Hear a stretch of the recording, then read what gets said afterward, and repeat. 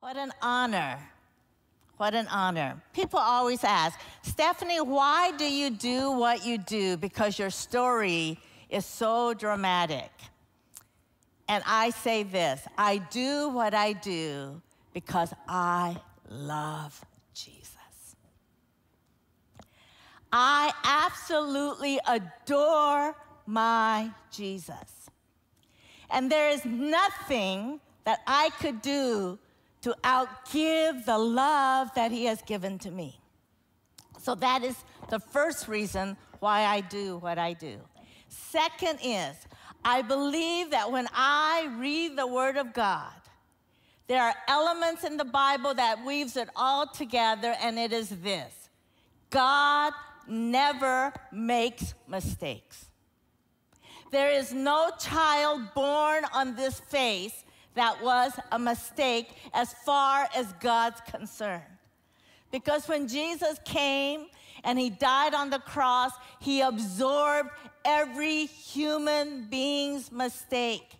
And God's design is this that he wants every child to have that original perfect beginning. And yet, I stand here knowing that's not my story. And we heard a story that that is not God's original design for our brother that was up here. But the beautiful thing about the cross of Jesus Christ is this that when we come to that realization that the world has beaten us, that the world has betrayed us, that the world has abandoned us, that the people that God intended to give us, that nurturing that we needed to become the adults that He wants us to be, He will come and take the place of the Father. He will come and take the place of the mother. He will come and be the family to us that we need so that no matter what the age that a child is rescued, from that point, God can pour in all the nurturing that that child needs to be the successful representation of who he is.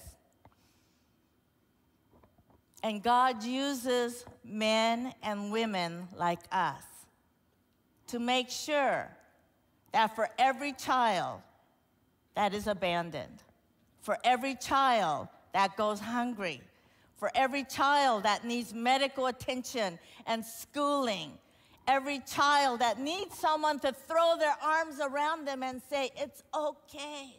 Don't look at what the world is giving to you now. It's okay. God has a different plan for you. And as we speak those words, that we know that we can be the advocates to change either one child's life or change a country's destiny. I come from a small peninsula just off of Manchuria that's called Korea. Just a tiny little country. And after the Korean conflict, where I lived was even tinier because that little peninsula was divided into two. North to this day is the darkest nation on the face of the earth. South today thriving in every way. But when I was born, little South Korea was not like that. For 40 years, they had been occupied by the Japanese that had tried to come in to colonize that little peninsula. For three and a half years, they had fought a bloody war for independence. Little South Korea was devastated. Every tree that was burnt from the mountains, people that had lost everything.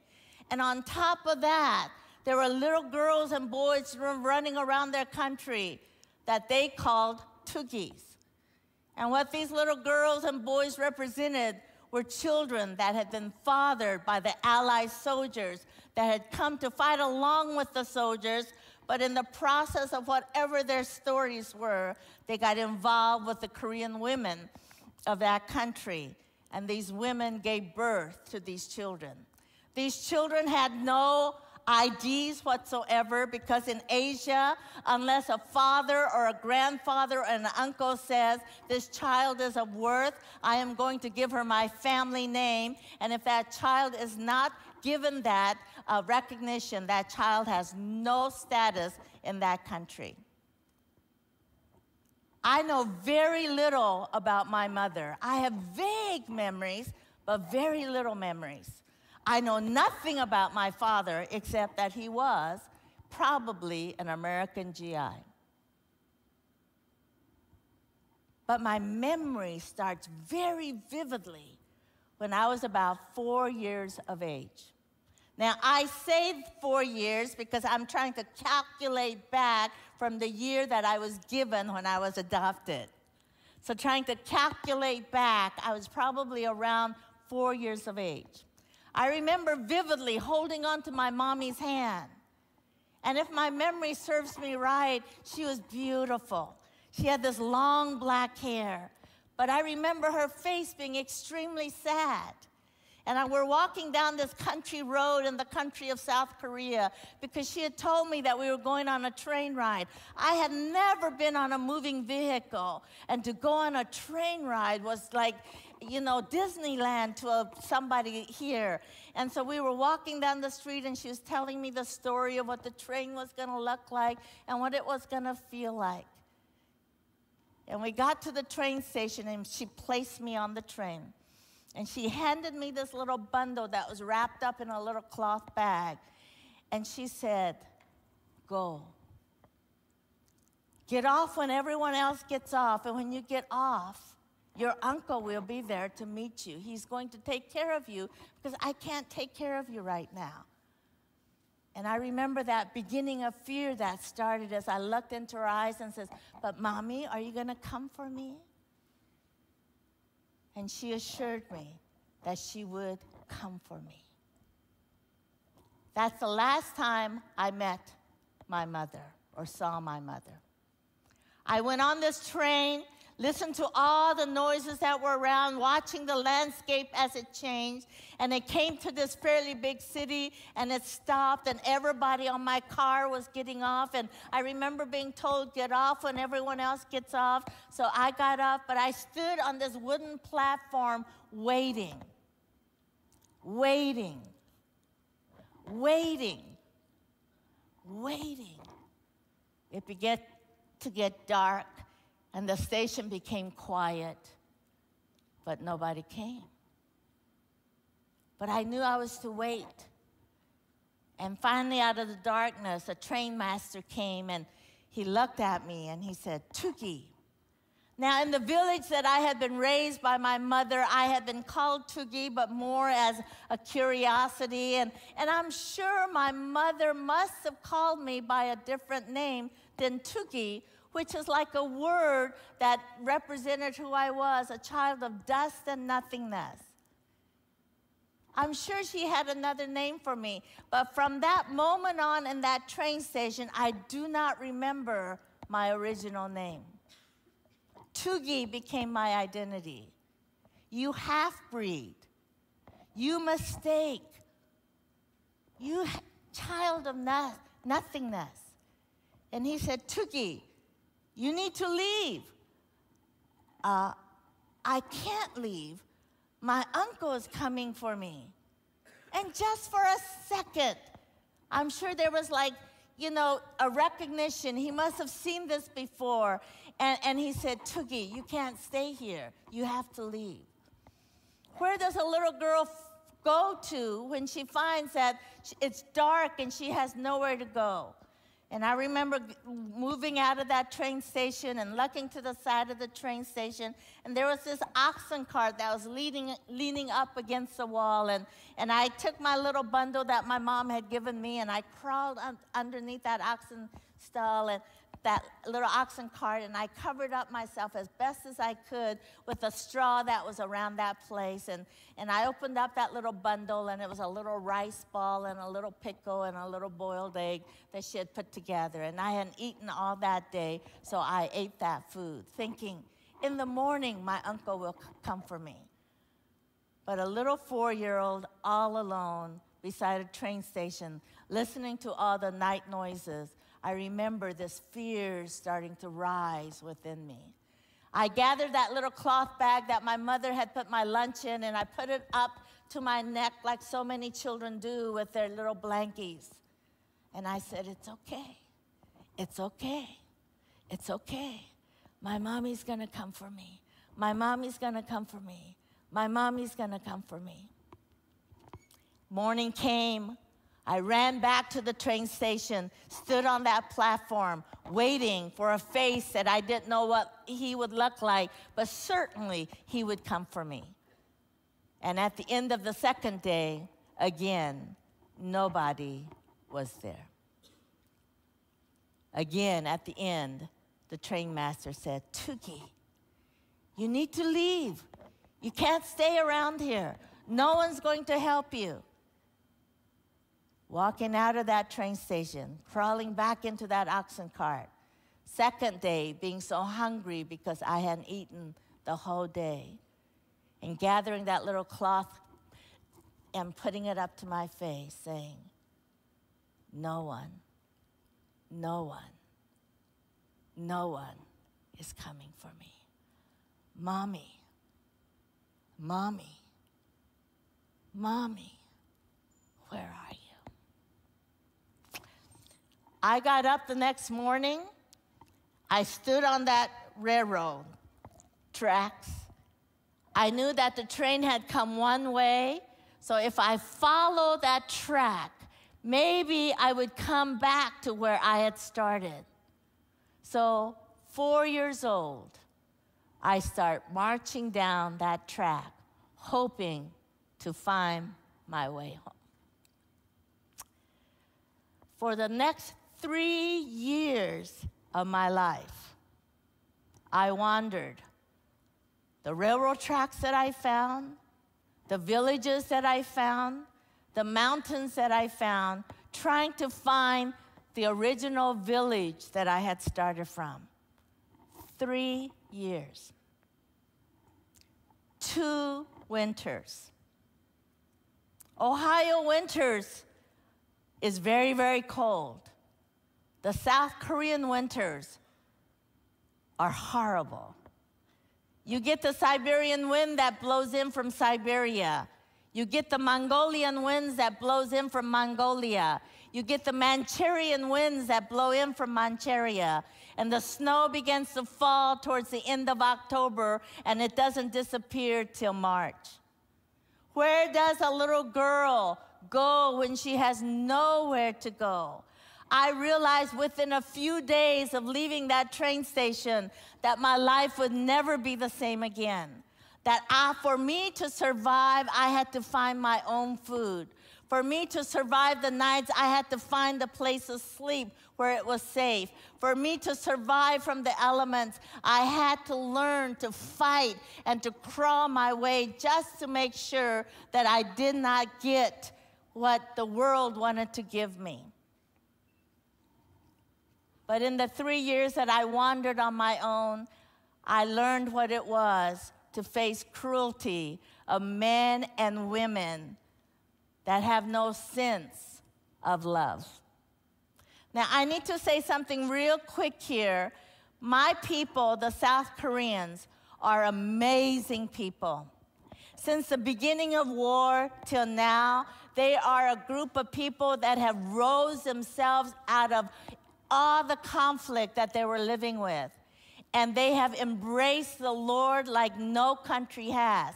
Little South Korea is the Christian nation in the world today. They have more churches and more missionaries than any other country in the world, including the United States of America. They are the fifth economically strong country in the world today. They are the most educated people in the world today. They have come such a long, long ways. But 50 years ago, 55 years ago, that was not the case. They lived in superstition. They lived in the fact that when they looked at a little girl like me, they were reminded of what their girls went through, what their nations went through. that they would never be a pure race again, that they would never be able to pick themselves up from all that they had lost. And so when they looked at little girls like me, they wanted to get rid of that reminders. And besides, I wasn't even a person. They did not see me as a little girl, that when I bled, that I hurt like their little girls. They didn't see me that when I begged for food, that I was hungry like their little girls. That when I asked to find a little warm spot to sleep at night, they didn't see me as a little girl like their own that got cold at night. But I stand here to tell you that when I look back on my child and I see the moments where I should have actually just died, how God always sends someone, even if it was for half an hour or for an hour or for an evening or just a little time where that person came and somewhere deep within, although I had not been introduced to Jesus yet, even though I didn't know a God, somewhere deep inside there resonated a spirit that was looking for the true spirit. And that spirit would rise up and say, It's okay. You can do this. You can do this. And I believe that it was a spirit that God gave me before I was born, knowing the journey that I was going to have. And He knew that I would have a story at the end to give Him glory and honor. And He said, I'm going to raise her up out of the dust. I'm going to raise her up out of abuse. I'm going to raise her up out of this abandonment. And one day she's going to see there's no event in her life that she would be better without. Because the testimony of the cross is He took took everything that the world took away from us, and He gave us everything that heaven's intent for us was. I found myself one day in a village, very hungry. And I was trying to steal some food from the farmers that was gathering their foods to sell for that day.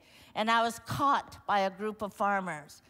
And one of them recognized me and he said, Oh, it's that dirty Tugi that's wandering around our rice fields. We have to get rid of her.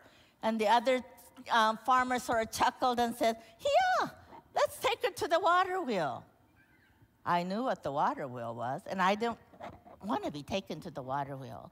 I fought, I screamed, but the farmers were much, much bigger than I, and they dragged me out of the village up a mountainside. And there was a small water wheel that in Asia they use to irrigate the rice fields, and it sort of travels really slowly, but it travels as it irrigates the rice fields. And they took me up to this water field, and, and they tied me face up, arms tied behind my back, legs tied down and I remember the way where the sun was set in the sky. And I remember watching the clouds as it was playing in the sky. And I remember hearing the scream of the little girl that was me as my face began to go backwards. And I knew my face was going to go in the water. And just before it went under the water, I held my breath and I came back up and I spit out whatever was in my mouth and I began to scream again. The water was not very deep, so when my face went down, my face was scraped the mud and the sand and the gravel that was on the bottom. I'm here to tell you, I believe I should have died on that water wheel. There's no reason why I should have survived. By I had been on there long enough where the skin was starting to rip off of my face. My eyes were beginning to swell shut, and I didn't have any more cry of mercy left. All of a sudden, the water wheel stopped. I felt the hands as it began to rub my hands and untie the rope that had tied me. I heard the voice. I could not see him because my eyes were so shut. But I knew these hands were not the farmer's hands. They felt soft. It was not rough like the farmer's hands. And he took me off the water wheel and he placed me on the ground. And I remember a soft cloth as it was being wiped off, as it began to wipe the debris off my face. And I heard this voice say to me, Little girl, it's very important. You need to listen to this. these people do not understand how much you need to live. But, little girl, I'm here to tell you you must live. I'm laying on that ground listening to this man telling me that I must live. And now I'm about five years old, maybe five and a half. I lived on the streets maybe for a year. And he's telling me to live, and I don't understand uh, this two message. But somewhere again, this little light, the little me, began to rise up and say, Oh, He's telling me to live because if I just go over the next mountain, my mommy is there and she's waiting for me. She's looking for me as much as I'm looking for her. He must know my mommy. I fell asleep or I lost unconsciousness. I don't really know exactly what happened. But when I came to, the man wasn't there anymore. I opened my eyes as best as I could with the swollen eyes. I looked around and I realized for that day I needed to stay close to that water wheel because I couldn't see. Here I was, left alone again. Why was he telling me that I needed to live? But if I could get enough strength and if I could open my eyes, it wasn't that far over the mountain. And in the next village, my mommy would be there. And that gave me the hope and the desire that I needed. And sure enough, my eyes began where I could see again and I could get up and start walking. And I had this live, little girl, live, little girl, live, little girl, live, little girl. The children would catch me over the months, throw me into human septic wells, watch me as I was trying to fight for my life in that sewage, that sewage, and, and uh, as it was being sucked under, the children would laugh at me, and just before I could even cry for help, they would pull me out by my hair, and I would lay by the septic well, smelling the smell of human waste and believing this is who I am. This is who I am. I am nothing but human waste. But that man told me I have to live, so I'm going to wash myself in the stream and I'm going to keep on walking because I have to live. Another time, for daring to steal some food from another farmer, they took me to an abandoned well and threw me in to die in this hole and I should have died in that hole. But again, at the end of the day, a woman came and I heard her voice saying, Little girl, are you down there? I didn't have anywhere to go, you know? And she said, I'm going to throw a bucket with a rope on it, and if you can somehow get the energy. And I had spent the whole day holding on to a rock and yelling up at this vacant darkness, hoping that someone would hear me, but the echo of my own voice came back to me. But I kept saying, if that man told me to live, I can live. And she threw a bucket with a rope on it, and somehow I climbed into that bucket and she pulled me up. And I'll never forget, she was an old, old Korean bent over lady. And, and she grabbed me under the arm and she sort of dragged me because she wasn't much bigger than I was. She dragged me through the village in the dark and took me to an oxen stall. And she covered me up with the uh, straw that the oxen were eating to get warmth back into my body. And of all things, she looked into my eyes and she said the exact same thing that the man had said many months before. Little girl, I know your life is tough, but listen to me, little girl, it's very important. You must live. Why do I have to live? Because in the morning I will be hungry, and at night I will be cold. And children mock me, and they throw stones at me. They tie me to trees. They throw me into septic wells. They tell me I'm a witch when I come into their villages. I wear a straw mat as clothing during the day, and I look like a little wild thing running in the countryside. Why do I have to live? But inside, that hope that said, there's more than what you have now. You're going to find your family. keep on. Don't give up. Winters were the worst because there was no food that I could steal from the farmer's fields. There was no food that I could scavenge from the ground. It was very, very cold, and there was nowhere for me to sleep.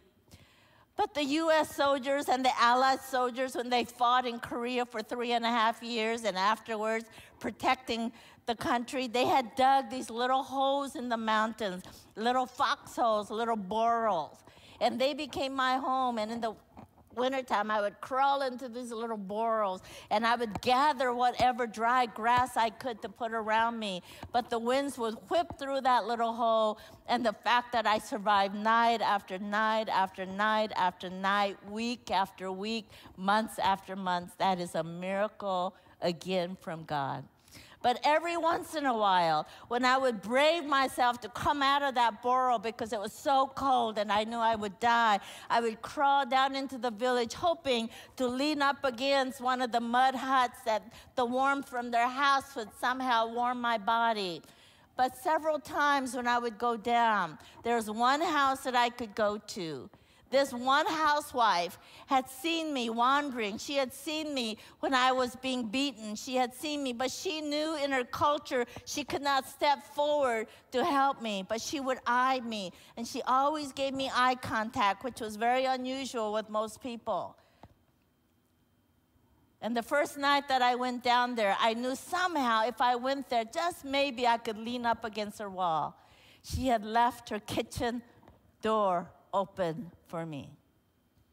I crawled into that kitchen mud floor with a little earthen stove and I warmed up to it as best as I could. And she had a little iron kettle that had burnt up barley on the bottle, that, bottom that had made into a little barley tea. And I remember drinking that thing. And again, that voice from within saying, Live, little girl, live. It's very important that you live. When I was about seven years old, I wandered into a fairly large city. And in this city was the first time I saw like taxis and cars and bicycles everywhere. And, and I'm trying to wonder how I'm going to survive in this metropolis. And I hear a voice, and it's a voice of a young boy. And, and uh, he sort of comes through the crowd and he says, Tugi. Yes. You're new here. Yes. You need a place to stay. Yes. Oh, come with me. So I follow him. And in this city, on the edge of the city, there's a river that runs through the city. And everywhere that I saw were little makeshift tents and little makeshift huts that had been put together by, you know, metal scraps and barley's um, mats and whatever else could be found. And there were children by the hundreds living in this part of the city, and it was sort of called the Children's Village. They had their own rules and they had their own um, infrastructure, and that's where they lived. And, and so this young boy took me to this part of the city, and he had a group of people that he was sort of their father to. And he said, You can come and live with us. No one had invited me to live with them. And so I began to live with them. When they stole food, they shared it with me. When they built a fire at night, I got to stay warm. But I'll never forget one night as we were around this little fire, there was a little boy about my age. He was standing in front of this fire and he was rocking back and forth. And I remember my eyes never left him. And as he was rocking back and forth, I thought, what is he going to do? And all of a sudden, he fell face forward into the fire. The other boys pulled him out, but he had burnt himself pretty good. They took him to the edge of the town, and I never knew what happened to him. But I remember going to bed that night thinking, he's brave. He's brave. I wish I could do that because my tomorrows aren't going to be any better than my todays were. I'm a Tugi. But at that voice again inside, live, little girl, live. One morning I woke up and a group of boys said to me, You've lived with us for several months now. We've taken good care of you. Yes, thank you. You need to give something back to us. I have nothing.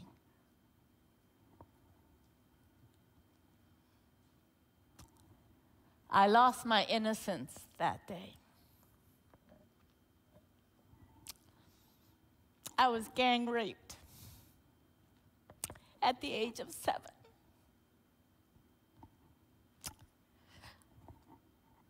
No one needs to tell a little girl when that happens that it's okay. I knew then that I had lost one of the most precious rights that a girl has.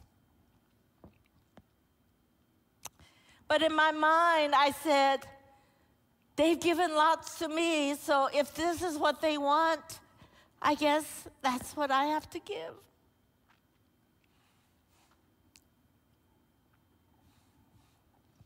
And I lived with them for several more months. But one morning I woke up extremely sick and feeling feverish and shaky at the same time. And, and I'm thinking, what's going on? And I'm rolling from one side to see if someone could help me. And that straw mat on that side is empty. I roll to the other side, and that straw mat on the other side's empty. And, and I get up and I start calling for my family. And they're all gone. And I know that I'm sick, something is not right but no one around in the other parts of the village can help me. So I'm thinking, okay, uh, we've been eating nothing but garbage and junk in the city and sewage water. If somehow I can get back out into the country, at least I can drink from a clean stream and maybe steal some of the vegetables and fruits that the farmers grow. And so, in my weakness, I'm trying to get out of the city. And as I'm going out of the city, I hear another horrible scream out in the gutter of the city. And I look down, and it's another little girl that has been abandoned and thrown away in the gut sewage way. And somehow, in my weakness, I crawl down to where she is and I pick her up and I hold her near me and I say, It's okay. We're both going to survive. And I'm thinking, you know, she's screaming. So she's screaming because she's hungry, right? And I'm probably feeling the way I'm feeling because I'm hungry. I can't make it out to the country, but I know where the market is. And if I can go to the open market, maybe I can steal some food for her and I, and at least it would appease us until we can get out. And as I'm doing this, walking into the marketplace, I feel my head being grabbed from behind me and the little girl being yanked out of my arms. Because, see, they recognized me. I had stolen much of their food. And in Korea at that time, when you steal food, it was one of the worst things that you could do. And the farmer says, We got to punish this Tugi. She keeps stealing our food. And they said, Well, let's take her to that building. I had lived in this city long enough to know exactly what that building was. It was a building that had been built on the edge of the river. At one time, it had been a government building, but now it, was, it had been bombed out. But what survived in that building were the gutter rats that came up the river through the ground, and it was like a breathing ground for them. And I remember screaming and saying, Oh, you can do whatever you want, but don't take us to that building. But they laughed and dragged that little girl and myself and threw us over this wall, pretty much as live baits for these rats. Our brother was talking about having a pet hamster. It reminds me too much of a rat.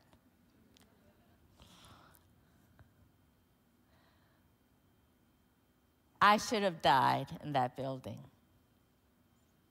I do not know what happened to the little girl that was thrown in with me. I remember waking up and looking into these blue, blue eyes. Now, again, I knew nothing about God. I knew nothing about Jesus. I knew nothing about church. But somewhere, maybe somewhere before I was abandoned, my mother or my grandparents or someone must have told me about Jesus or about heaven. Because the blue eyes that looked down at me, the first word she said was, that she said, that came out of me was, Am I in paradise? I thought I had died, and somewhere, maybe a picture book or something, you know, angels had blue eyes, right? And she assured me, No, you're not in paradise. And this is a story that was shared with me several years later by this nurse.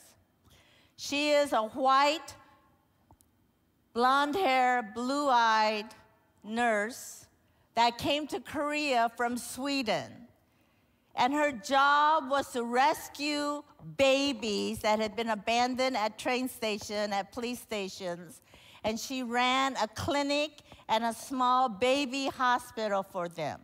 Her job was to get these children healthy enough that they could be adopted out internationally. International adoption had just begun in the late 50s, and it started in South Korea to help the hundreds and thousands of children that were left and abandoned. She said she was going from one orphanage back to her clinic and she felt compelled that day to go through what she called garbage lane. It was actually a landfill that it was being filled with garbage. And as she's walking through garbage lane, she hears this groan and she comes over to where this groan is. And it's me. I cannot tell you how I got out of that building. I don't know if somebody found me and thought I was dead and just threw me on the garbage to die. I don't know if somehow I got out myself and in my wanderings I ended up on that garbage pile. I cannot tell you. But that's where I was found. For any of us that work in a third world country like I do, with Loving Shepherd Ministries that has a table in the back if you're interested. And you go to those countries and you see the need around you, and they all need your help. What we do is we wear like these blinders that says, God, let me just see what you want me to do here. Although our compassion is for many, we know that we are called to the few select that God has for us. And that's how this nurse was. God, I can't help her. She's too old. She's too sick. I can't help her. So she actually got up and was starting to walk away, and she said two things happened that changed her mind. One was, as she was trying to walk away, she felt like her legs were built with cement. They would not move. They were so heavy. And as she's trying to figure out why is the lower part of my body feeling so heavy, she said, now you need to understand this nurse is a very quiet Lutheran woman from Sweden. She is not like some in the Christian circles that, you know, feel that God speaks to them even when they burp. She doesn't, she's not in that realm. But she said that day, she heard an audible voice. And this voice said three words She is mine. Many years later, I came to know the God of the universe. And as we know about God, He is so massive, the galaxies worship Him on a daily basis.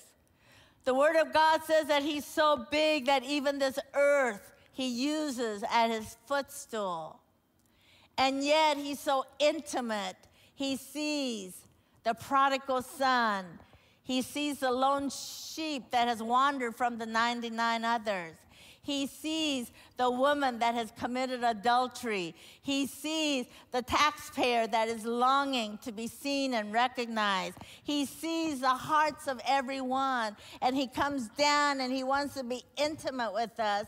And He is so intimate with us that in the garbage moment of our life, the heavens cry out and say, She is mine.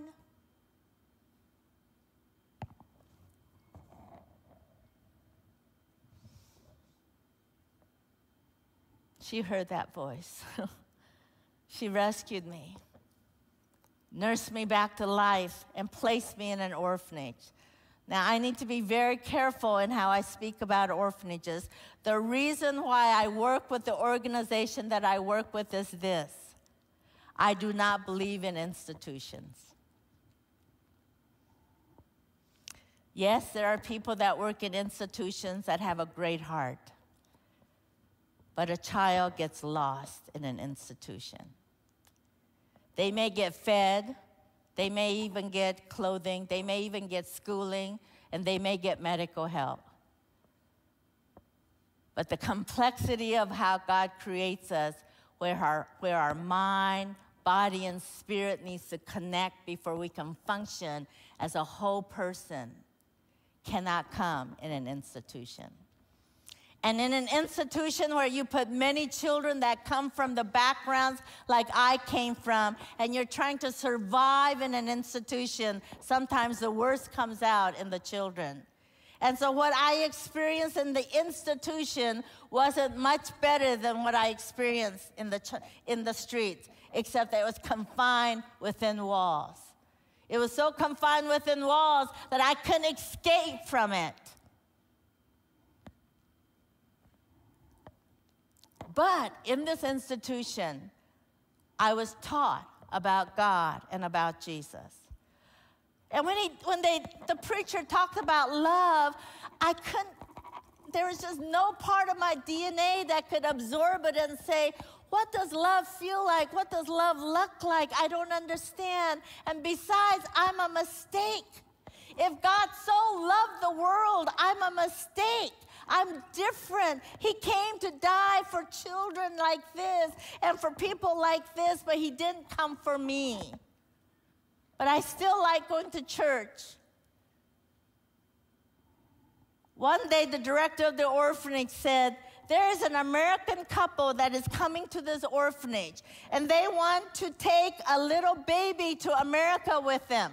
Can you get all the children ready?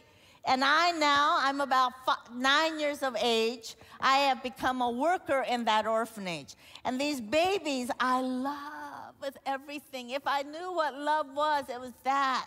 They could do nothing, they were helpless, and I wanted to help them. And we got all the little children ready. And I'll never forget the bell of the gate ringing. And we had a little gate that most people went in and out of. And the, one of the workers went and opened up the little gate. And he shut the little gate. And he opened up the big gate. Now, in Sunday school, I had heard the story of David and Goliath, and I knew that little David had killed Goliath. I had seen the nurse that had rescued me from the garbage heap, and I knew that people with blue eyes probably did not see the world the same as how I did. I had seen American soldiers wandering on the streets. I knew that they all came in different shapes and sizes. But this man, he was the most hugest man I had ever seen. Not only was he tall, he was almost as round as he was tall. Now, in Asia at that time, only people that had a little extra weight on them were people that had food to eat. So they were rich. I'm looking at this man coming through this big gate and I'm thinking, Mr. Goliath and Mr. Billionaire. I'm watching this. And he steps aside and in walks Mrs. Goliath. They go to this little crib little basket. And Mr. Goliath goes down and he picks up a little baby and he tucks it under his neck just like this. He's talking in this funny language, talking to his wife, and she's doing the same thing. They're just giggling and laughing and crying and doing all the things that, you know, parents do when they know that they're going to take a little baby home. And I'm thinking, what is wrong with these people? Now, for the five years from the time my mom had left me at the train station to this couple that was in this courtyard of the orphanage, I had gone through everything that no child should ever experience. And in the orphanage, I still had the residue of those five years. I still had dirt caked all over my body. I had boils on me. I had scabs on me. I had a scar that went down my face. I had a lazy eye. I had lice so bad in my hair that it was more white than dark. I had a worm so bad in my stomach that when they got hungry, they would crawl out of my throat. He saw me, this giant, from the corner of his eyes. He put that baby back in the crib. He turned around to where I was. Now, not only was he a giant, but he was a man. I hated men. And I'm getting ready to run because I think he's going to grab me and squeeze the life out of me. But I see him bending down as low as he could get. I'm nine years old, but I weigh just a little over 30 pounds. And he comes down to where I am and he takes out his big arm and his big hand and he lays it on my face just like this. Live, little girl, live, live, little girl, live, live, little girl, live. I didn't know what this touch felt like. I don't ever remember being touched like this. This is a good touch, right? I want you not to take this hand away. Live, little girl, live, live, little girl, live. But because of my anger and because of my abuse and because of my abandonment and because of my bitterness, I yanked the hand off my face and I looked up at him and I spit on him.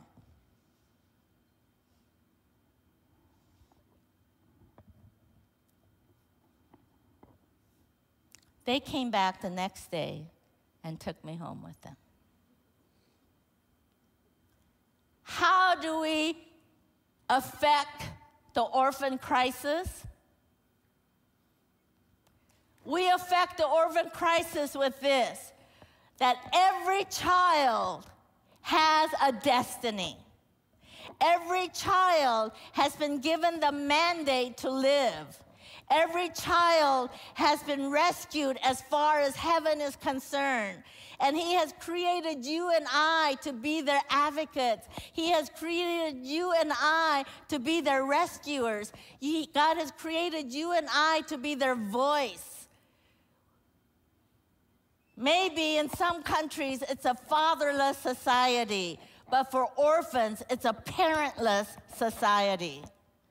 It is a society where there is no infrastructure to help them in any way. If a child is left here in Columbus, Ohio, they may go through some hardships, but they will not be left there abandoned. The human resource would be right there to pick them up. But in countries like Haiti and Ethiopia and so many other countries, when a child is abandoned on a street corner, and he or she isn't rescued, they will die within several days. And if they don't die, they will know nothing but poverty and disgrace for the rest of their lives. No child deserves that. And every organization that's represented here today has a different heartbeat. For us at LSM, we believe that every child needs a permanent home, whether it's through adoption or whether it's placing them in a home situation in the country of their birth.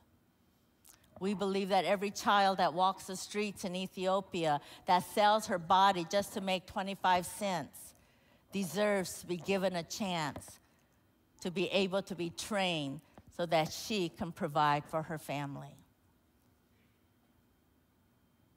You are here not just to hear a foster story. or an orphan story. You're here because God has motivated you to say, Do you remember, son? Do you remember, daughter, when I adopted you? Do you remember how I had to walk with you to go back to the past of your life and let you see that you felt like you were all alone, but because of me inside of you, you can go back together and you see that I was there all the time? Giving you an ability and a strength.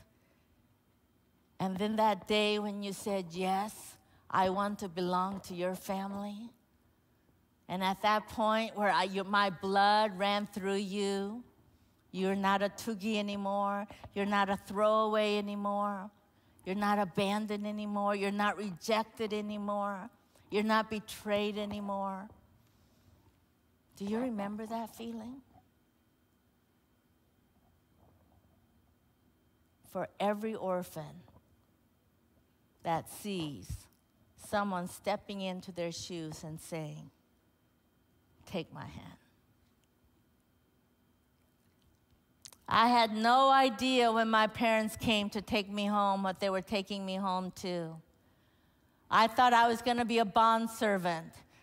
Who knew what this big giant of a man would do to me? I had no sense of security when they took me home. And I waited day after day after day for them to put me to work or to do something even more tragic with me. But all they kept doing was bathing me and bathing me and bathing me and bathing me. And finally, shaving my head because they couldn't get rid of the lice and they deworming me. And it just seemed like, you know, I was this guinea pig. But they loved me. Every night, they stuck me in a little bed that I had never slept in, that I fell off of every night.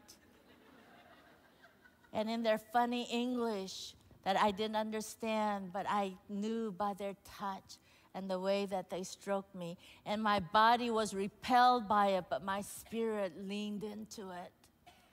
And I'm so glad that somewhere in that childhood, I learned to listen to this spirit. Because as I began to listen to this spirit, it was like, they're safe. They're safe. They're safe. Oh, it took them many years. to hear the words out of my mouth that said, Daddy, I love you. But when I said it, I meant it with all my heart, and I knew at that moment what love felt like. And now I'm a mother, I'm a grandmother, I'm a wife, I'm an advocate for the 153 millions of orphans that's around the world. And I know that there, He is no respecter of people.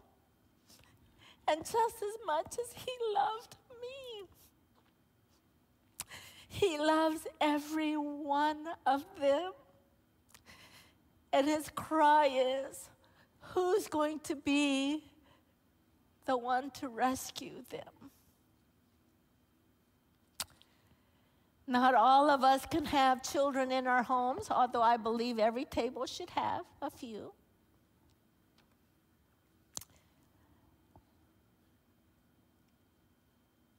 But give in whatever way God has asked you to give.